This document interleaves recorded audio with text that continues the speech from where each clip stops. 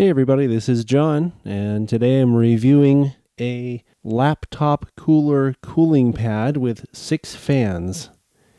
This is made by a company called Egogo, and it's available on Amazon currently for $17.99. So, in case you haven't seen one of these before, it's just a pad that you put your laptop on top of, and basically the fans in it run off of the USB in your computer and it cools off the bottom of the computer. So if you have a laptop that tends to overheat, you put this pad under your computer, plug it into your USB port on your computer, and it will keep everything cool underneath. So this particular model has six fans.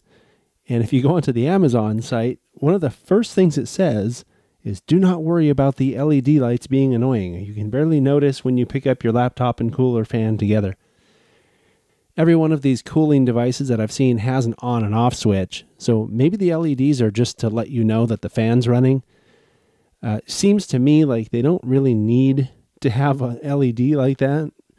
But like I said, if it's telling you that it's on or off, it may be a good thing to have.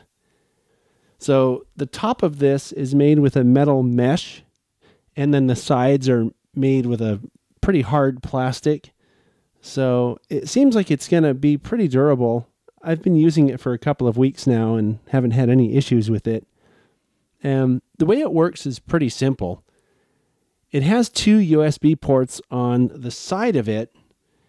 And basically, all you do is you take the cord that it comes with, it has two of the same kind of USB jacks there.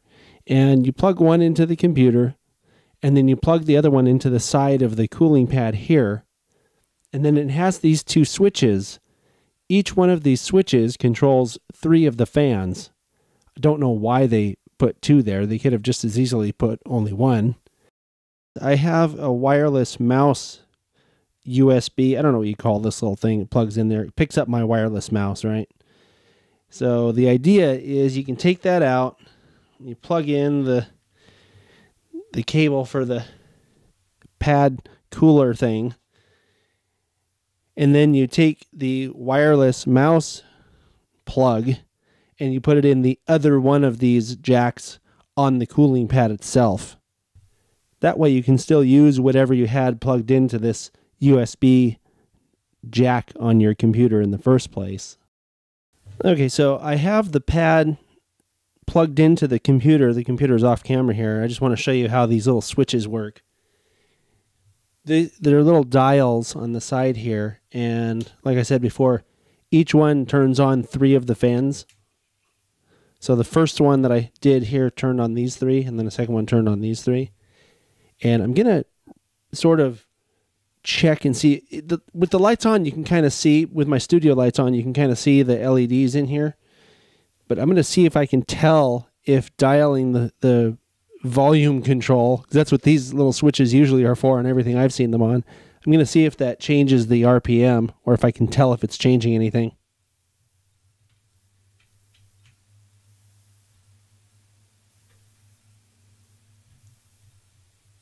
Yeah, it sounds like the dial controls advance your RPMs on the fans. Again, I'm not sure why you'd want to do that. To my mind, if you have this thing on, you just would want it on and keep your computer as cool as possible. So, anyway, since I have it here like this, I'm going to go ahead and put the computer on top of it and we're going to see how it fits.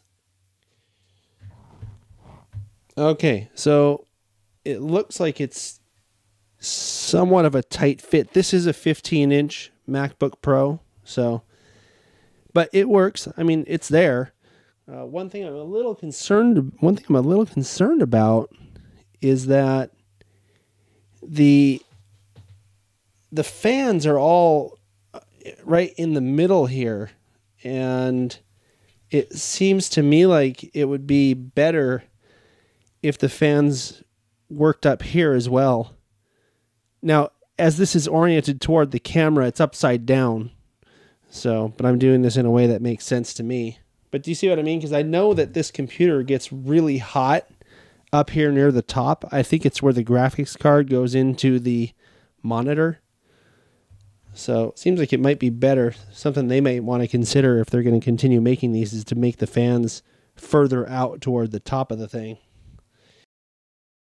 The pad also comes with these little sort of kickstand things. If you want to keep your computer up at a slight angle, I use these always because it makes the typing a lot more ergonomic.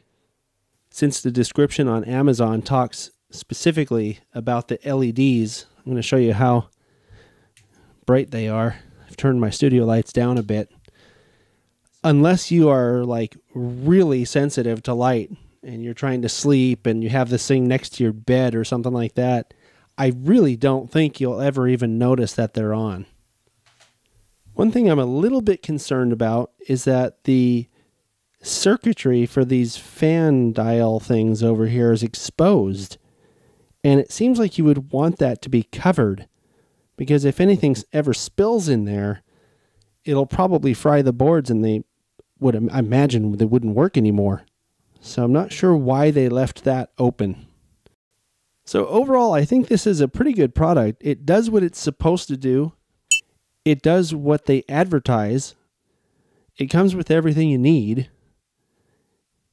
One thing I was a little bit surprised by is that the fans are loud compared to the other one of these devices that I have.